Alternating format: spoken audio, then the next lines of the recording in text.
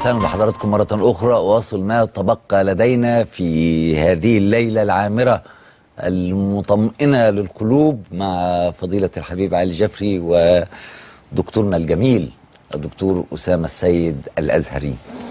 آه سيد الحبيب كنت سألت سؤال متقدم علشان نقفل هذا المبحث الخاص بتغيير المنكر النهي عن المنكر والأمر بالمعروف. الأمر بالمعروف والنهي عن المنكر. الأمر بالمعروف والنهي عن المنكر صحيح. نعم. فكرة إن شخص يروح رايح شايف اتنين قاعدين اتنين واقفين. دلوقتي بقى في دعوة مضادة حد جالك اقلع اللي في رجلك واضربه وحاجات كده. فأنا خايف نشوه المعنى الجميل اللي حضراتكم النهاردة. بلورتوه تماما وحطيتوه في إطاره الذي يطمئن الناس ويقول أن أهل العلم يقولون أن هذا هو الأمر بالمعروف والنهي عن المنكر لكن إذا حدث شخص اعتقد أن الأمر بالمعروف والنهي عن المنكر أنه يسير يفتش في الناس. دي مين؟ ده مين؟ أنتوا قاعدين كده ليه؟ بتبصوا على النيل ليه؟ بتشربوا بيبسي لوحديكوا؟ ما أعرفش هيشوفها إزاي. ووجد مواجهة عنيفة. ماذا يجب؟ هو ده ده أمر بمعروف ونهي عن المنكر اولا هذا ليس بالمعروف ولا النهي عن المنكر. ولو تأمل المستمع الكريم كلام فضيلة الشيخ أسامة في بداية الحلقة نعم. من آه، بيان ما هو حق الطريق. لوجد أن هناك تسلسلا معينا ينبغي أن يبنى. من خلاله تكون وشائج الصلة, الصلة بين الناس قائمة على أساس صحيح ومستقر. يعني مثلا في السابق يمكن أنت أدركت هذا أو جيل والدك. كان كل كبار الحي يعتبرون كل أطفال الحي أبنائهم. نعم.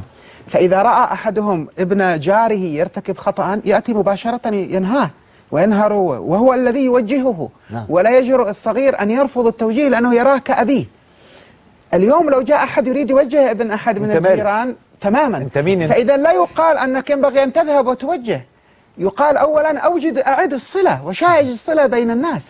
أوجد القبول لمفهوم أنك يا أيها المتدين عندك من المحبة قبل أي شيء آخر.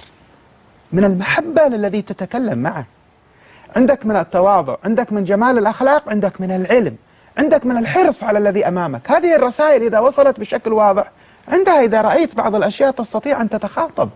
لكن قبل وجود هذه المقدمات مقدمات أنت مقصر أولا في إيجادها فالقفز منها إلى مرحلة النصح مباشرة هذا خطأ. ثانيا لا يجوز قط التجسس ولا التفتيش في الأمر بالمعروف والنهي عن المنكر. الأمر بالمعروف والنهي عن المنكر في الأمور الظاهرة للعيان التي لا تقبل تأويلا. ثانيا أنه لا ينبغي أبدا افتراض سوء الظن. الناس في الأصل على الصواب. جميع أفعال الناس في أصلها للناظر لها صواب. حسن الظن مقدم على سوء الظن. فالأصل في الإنسان الأمانة الصحة الثقة. ليس الأصل عدم ذلك. فلا لا يحتاج الإنسان أن يحاول يتأكد أنت لست رقيبا عليهم. الله هو الرقيب عليهم. يبدأ دورك عندما يحصل تظاهر. يعني مثلا فعل فاضح في, في شارع. لا هنا ينبغي أن يكون هناك تدخل. لماذا؟ وتدخل بالتي لماذا؟ لأن هذه حماية للجميع ليست حرية خاصة. يأتي طفل صغير يمشي في الشارع فيرى منظرا منظرا خادشا للأدب في علاقة بين رجل وامرأة. حتى هذا تحتاج إلى أسلوب. نعم. كنت في أبو ظبي فكان أحد الأجانب مع ما أدري هي زوجته أو صديقته لكن أنا أحمل على أنها زوجته. الأصل أن الأمور على الصحة. فكان في الحديقة كان في وضع في شيء مخل. فقام شاب من أهل البلاد من الإمارات لاحظته جاء إليهما. hello how are you رحب. قال لهم أنتما مرحب مرحب بكما في بلادنا. ولكن آه، في ثقافتنا هذا الأسلوب لا يتناسب في المكان العام. oh I'm sorry I'm sorry واعتذروا.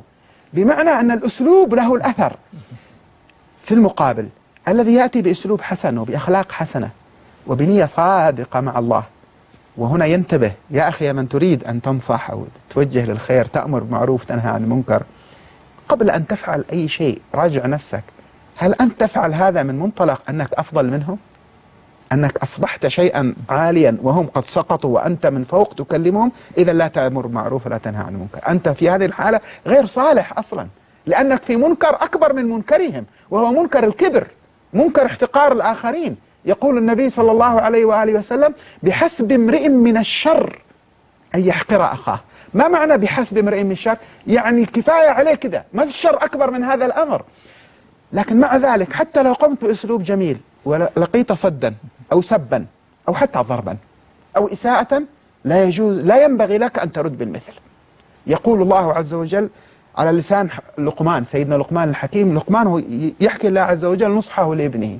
يا بني أقم الصلاة وأمر بالمعروف وانهى عن المنكر واصبر على ما أصابك. يعني أنه من الطبيعي أن الذي ينصح الناس قد يساء فهمه قد يعامل بطريقة خاطئة. واصبر ما قال ورد على ما أصابك. واصبر على ما أصابك. طيب هذه صعبة. إن ذلك من عزم الأمور. إذا لم تكن أهلا لأن تصبر على ردة الفعل المستفزة أو السيئة لا تتقدم بالنصيحة. حتى لا ترتكب منكرا أكبر من المنكر الذي رأيته.